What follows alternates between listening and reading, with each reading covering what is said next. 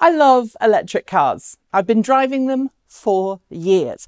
And while I love high tech cars as much as the next EV YouTuber out there, some of my favourite EVs are ones that put functionality before gadgetry, which is why I have to admit to having a pretty big soft spot for the Bollinger B1 and B2 Go Anywhere utility trucks.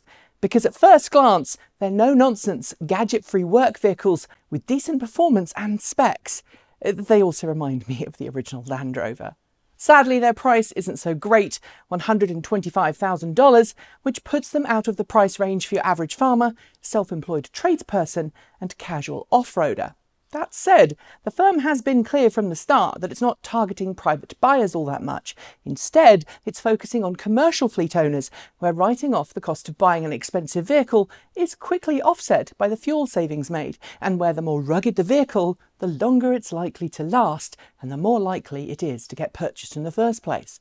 With all of that in mind, it probably comes as no surprise that Bollinger has just announced a new variant of its vehicle based on the B2 pickup the B2 chassis cab.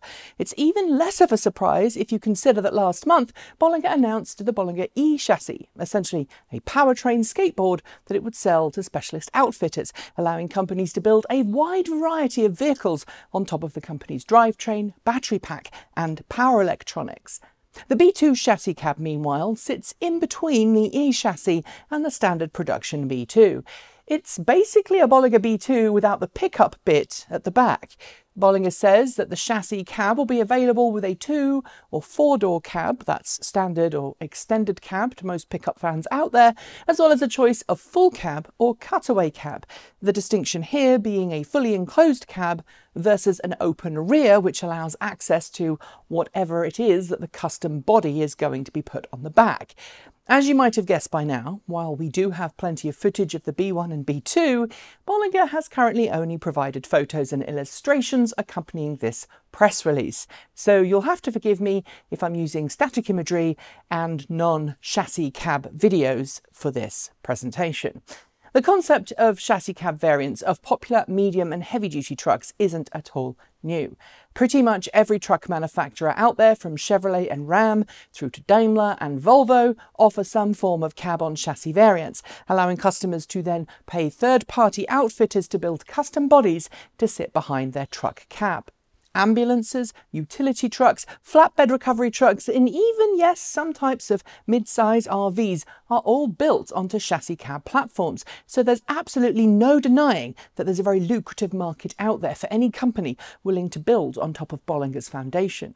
In terms of specification, Bollinger is quoting all-wheel drive and all-terrain capabilities, thanks to those portal gear hubs, as standard, as well as £5,000 of payload capability. In addition, the B2 chassis cab will feature the same stuff that the regular B1 and B2 have, such as self-leveling hydropneumatic suspension, 10 kilowatt onboard AC charger, and DC quick charging capability. Since the onboard power inverter is part of the charging system, the same one in the B1 and B2, there's also the same option for 120 or 240 volt power takeoff, which allows high power, heavy duty power tools to be powered from the truck, even if there's no mains power nearby. This, of course, makes it super easy for any third-party specialist vehicle outfitters to build a whole slew of different body options for the B2 chassis cab. And I think it would probably be especially of interest to utility companies who often have to travel into extremely remote areas to attend to power lines in the most horrendous of weather conditions. So all-wheel drive off-road capability and onboard power are a must. At the time of making this video, we don't have a price for this new variant, but as I've noted before, the more vehicles Bollinger can make for commercial clients, the cheaper its regular pickup and utility truck will become thanks to economies of scale, and that will benefit everyone. And because commercial vehicle operators that rely on these heavily customised, often very expensive specialty vehicles are most likely basing their vehicles on big, powerful engines that are expensive to fuel and maintain and also happen to fail to meet emission standards, then I really don't think Bollinger is going to struggle to find customers. Sure, its B1 and B2 will be out of the reach for many, including me. But this is a smart move that could secure the company's future for many years to come, just like Rivian has done much the same by working with Amazon to design and build delivery trucks for Amazon. That's it. Thanks for watching. And if you'd like to help us make more videos like this, Please do like, comment, and you can subscribe. Send us a couple of dollars away every month through Patreon or send us some money for our coffee habit with Ko-fi.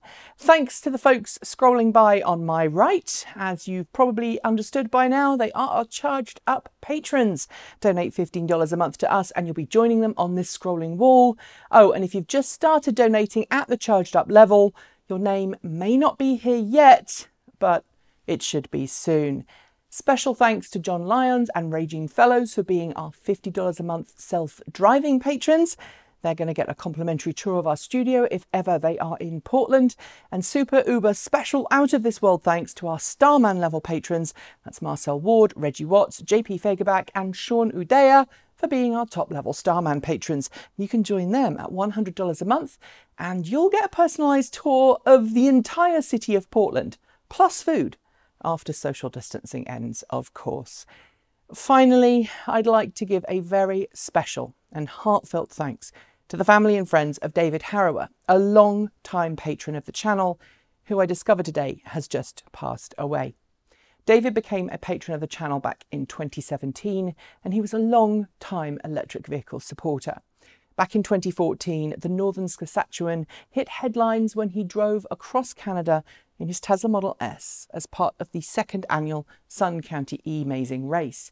This was while he was battling cancer, and he finished second.